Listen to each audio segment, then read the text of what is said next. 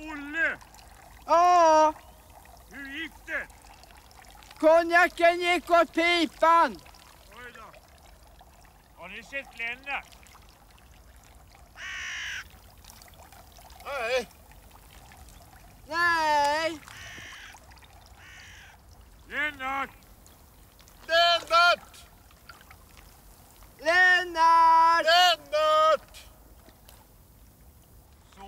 Såg ni om Lennart hade fallskärm? Fallskärm måste han väl ha haft? Annars kan man väl inte hoppa?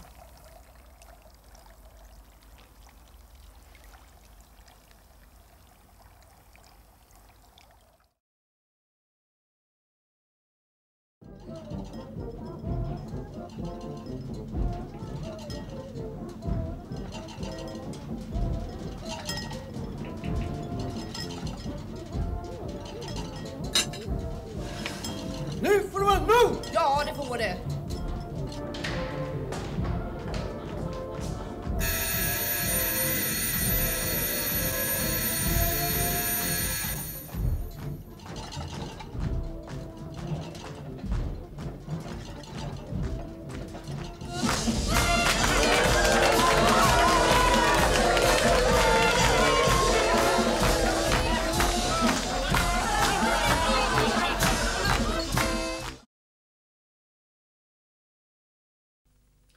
Ja, vi levererar 250 liter mjölk om dagen till Arla på 10 kor.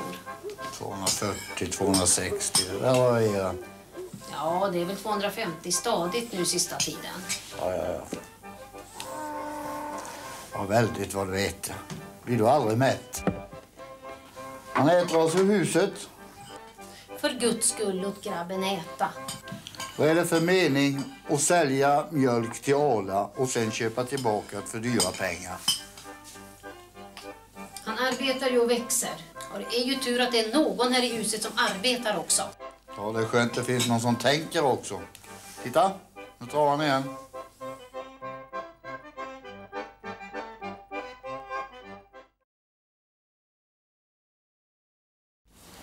Jodå, här växer det fruktansvärt med blåbär. Det finns här och, och här och nedanför berget där är de stora som körsbär. Nu tar du väl i? Ja, nog är de stora alltid. Jan-Erik, det är mat! Har du två paket yoghurt med dig? Börja inte nu. Och vad är det för mening att plocka blåbär och sälja till Arla och sen köpa tillbaka för dyra pengar? Du har väl inte plockat många blåbär i din dag? Nej, men jag har väl hittat ställena åt det. Här kommer han som äter oss i huset.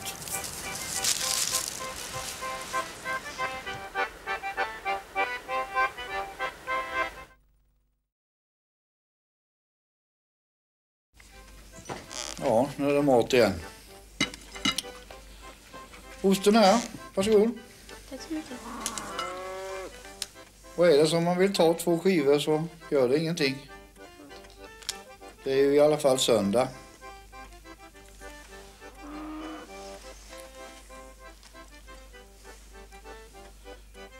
Vad är detta? Vad är det nu? Har du gått och köpt en ny osthyvel? Ja, jag har det efter 30 år.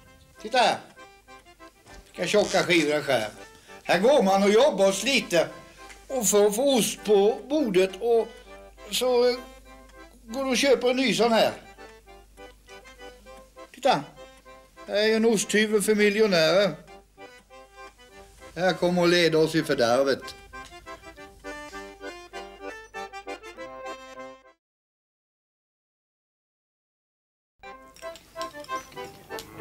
Ja, Herren är nådig mot sina barn. Jodå. Han ger oss ett gott bröd och en magnifik ost. Ja, det är ju snällt. Och han har också gett oss vår vackra kyrka som tyvärr inte är i bästa skick. Taket är dåligt och måste repareras. Mitt tak också. Och kyrkan har ju inte så mycket pengar. Nej, inte jag heller.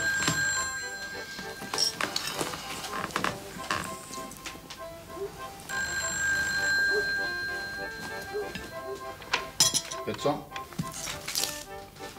Ja, det är han. Det är telefon till pastorn. Mhm. Mm.